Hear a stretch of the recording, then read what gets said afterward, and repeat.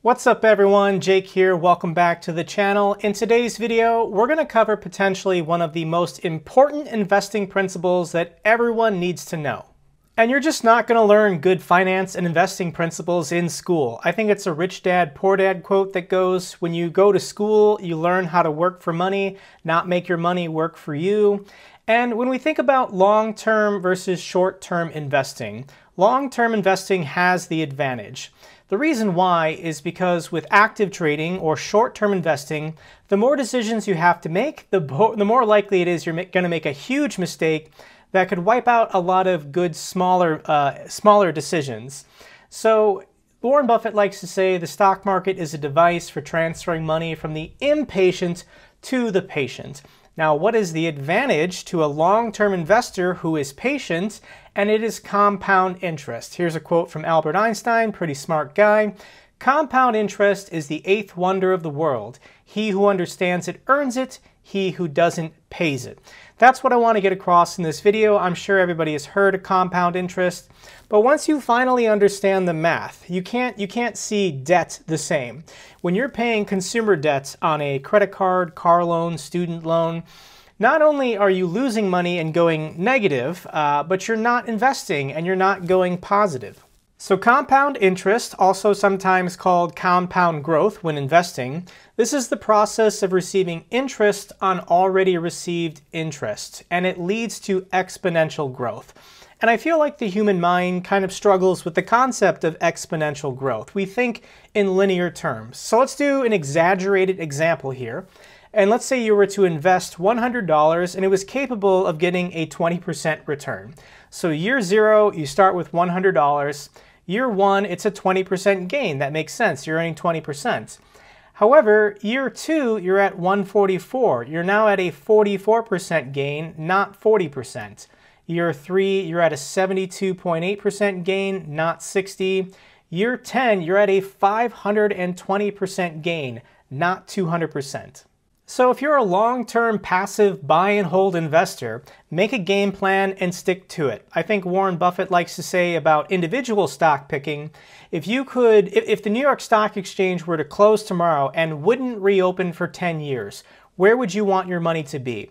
If you are investing in a 401k, TSP, 403b, IRA, any of these deferred taxed accounts, what is your 30-year game plan? This is money you're going to be using decades in the future. Pretend the New York Stock Exchange were to close down for 30 years. Where would you want your money to give you the best, uh, the best opportunity and the best advantage to retire securely? And truly, investing is a marathon, not a sprint. If you plan to be alive in 2050, you know, uh, once again, get your get your ducks in a row and come up with a game plan. What is the best game plan for you?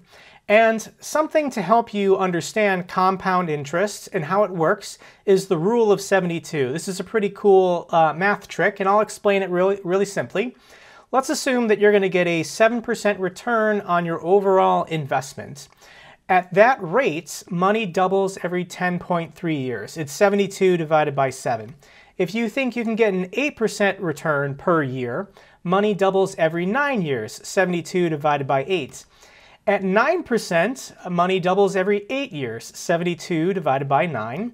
And at 10%, money doubles every 7.2 years, uh, so 72 divided by 10.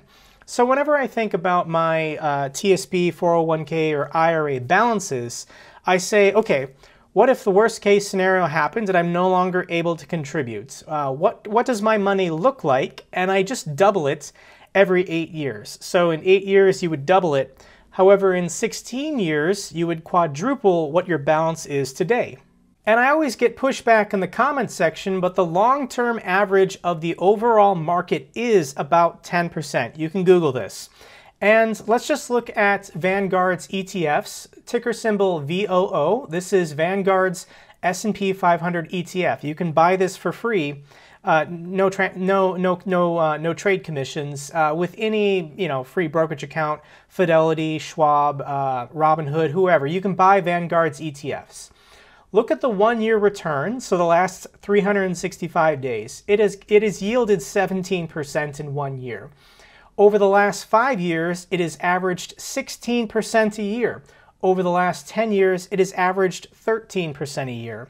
And since inception, uh, this goes back to 2010, 14% a year. This is obviously pretty high because this does not include the 2008 recession. So let's look at VTI. This is Vanguard's total stock market ETF. These two funds are about 80% the same. Uh, VTI includes small cap stocks. Year to date, up 20%, uh, one year average 20%, five years 16% a year, 10 years 13% a year. Now, its long-term average going back to 2001 is only 8%. Uh, this fund was created, you know, after the dot-com crash, and it also includes the 2008 recession. It didn't capture any of the tremendous growth we experienced in the 90s, but the long-term average with dividends reinvested uh, is 10% a year. So let's use that as our number. Let's say, you know, rule of 72, money's going to double every 7.2 years. So if you start with a $100 initial investment, after year one, you're up 10%. After year two, you're up 21%, not 20. After year three, you're up 33%, not 30. After year five, you're up 62%, not 50. By year eight, you've gone over 100. You've doubled, so not 80%. But once again, think long term. If you just buy and hold, what can you accomplish? After 20 years, you will be up 572% on that $100 investment, not 200%. Exponential growth and time on your side is incredible.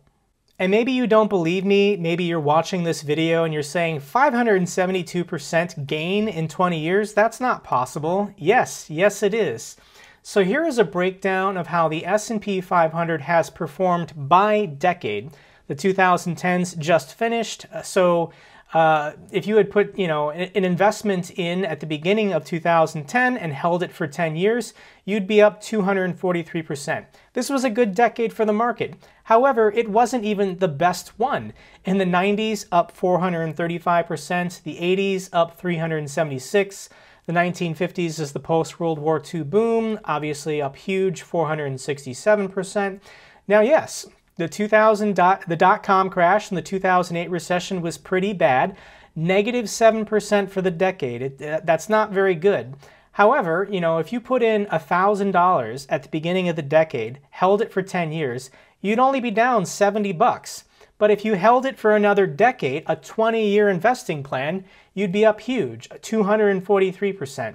You can also look at the Great Depression of the 1930s. We really didn't uh, recover until World War II started. So when you buy, uh, especially a well-diversified low-cost index fund, if you buy and hold, you will have tremendous gains over a 20, 30, 40 year investing horizon. It's also worth mentioning that it doesn't matter who's in power, whether it's Democrat or Republican, who controls Congress, who controls the White House, it doesn't matter the S&P 500 goes up over time. Business and economic productivity does its thing. So you can look at the growth during Reagan, the growth during Clinton, the growth during Obama. Technically, Obama, uh, technically Bush did finish below where he started over an eight-year period, but that was the 2008 recession. Ideally, that's not happening, uh, you know, uh, every 10 years. So, yeah, the Great Depression down here was bad, but if you just buy and hold in the long run, doesn't matter the political party, uh, the, uh, the US stock market will keep doing its thing. And it's tough. I know it's tough to put your money in a retirement account every month and say, hey, I'm not going to see you. I'm not going to see you, Ben Franklin, for uh, 20, 30, 40 years potentially. However, when he comes back to see you, he will bring his friends, uh, and you'll be thankful that you bought, bought and held and uh, invested today for tremendous growth, compound interest, and exponential growth over time. That, that is the long-term game plan.